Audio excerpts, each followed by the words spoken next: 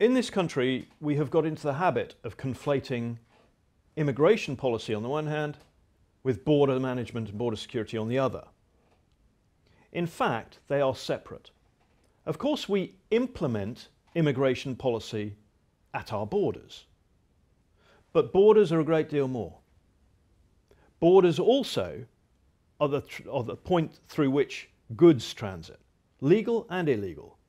Illegal cigarettes, weapons, explosives, drugs, a whole range of goods flow through our borders that have to be processed and policed, not only just people. So I'm going to separate these two things out. And let me talk a bit about borders first. This country does not have a national border strategy. Even Albania has a national border strategy. The Republic of Tajikistan in Central Asia has a national border strategy.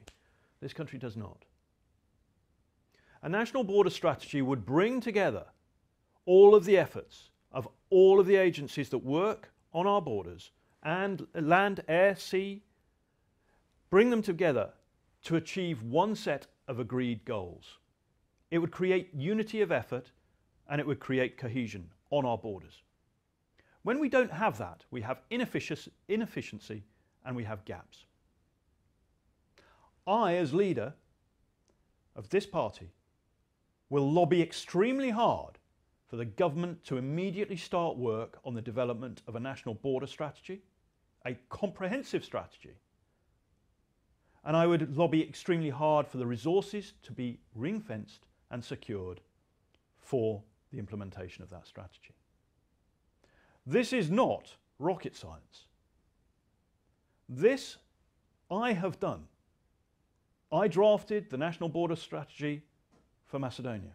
I drafted the National Border Strategy for the Rep Republic of Tajikistan, and I have helped some 14 other countries to do the same.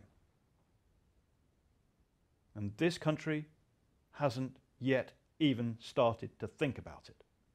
This party will demand that the British government starts work on that without any more delay.